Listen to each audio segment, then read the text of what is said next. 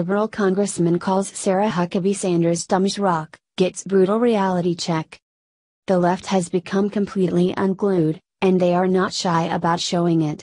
The Democratic Party is becoming infamous for their double standards, and what happened recently was no exception. However, when Ted Lieu, one of our nation's most unstable congressmen who represents the ultra-liberal state of California, decided to call our White House press secretary Sarah Huckabee Sanders dumb as a rock, he was not prepared for the reality check that was about to strike him. Ted Lieu has a reputation for being one of the most unhinged congressmen you will ever find. He loves to sit behind his computer, blasting nasty remarks at Republicans instead of doing his job. Although he is one of the many Democrats who continuously complain about sexism and how much Republicans supposedly hate women, it turns out that he's projecting his own thoughts and behaviors on others. Most recently, Lieu saw that Sanders commented on last week's report that the Hillary Clinton campaign and the DNC may have funded research for the reports that tried to link Donald Trump to Russia, and Lieu was instantly triggered. Sanders tweeted what we've all be thinking, that the shocking report was evidence of collusion by the Clinton camp, but Lieu apparently didn't agree. Instead of keeping his personal opinion to himself or firing back with reason, like a true congressman should, Lieu let his emotions get the better of him and sent out a tweet to Sanders that was nothing more than a cheap shot, to say the least, calling her dumb as a rock for no apparent reason. Lieu's tweet read, Dear dumb as a rock at press sec, Remember how Clinton campaign and DNC kept talking about Steele dossier before last November elections? Me neither. A majority of the internet agreed that for a congressman, his comment and name calling was a low blow, especially when made to a White House press secretary.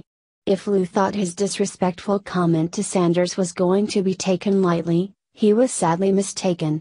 Twitter instantly blew up, slamming Lieu for his nasty remark. According to Town Hall, after facing a slew of angry tweets for his rude comment, Lieu did what Democrats do best and blamed President Donald Trump, explaining he was merely taking a page out of Trump's playbook. I lifted the phrase from the President of the United States, Lieu reasoned, adding that he gives the same treatment to men in Trump's White House. No matter what his excuse, there is no reason to call Sanders such names. She has done nothing but proven her intelligence and capability in her job. As if the embarrassment wasn't enough, Lieu broke a code along the way. According to Breitbart, Representative Ted Lieu, DCA, was recently re-elected to his second term in Congress, representing a large chunk of West Los Angeles. He was also recently promoted to colonel in the U.S. Air Force Reserves. In addition to obeying his oath of office, Rep.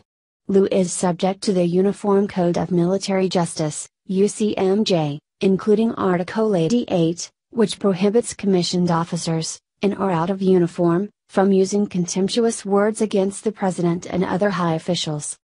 Liberals just sink lower and lower, while receiving no significant discipline for their actions, allowing them to continue their cycle of abuse and assault against anyone on the right.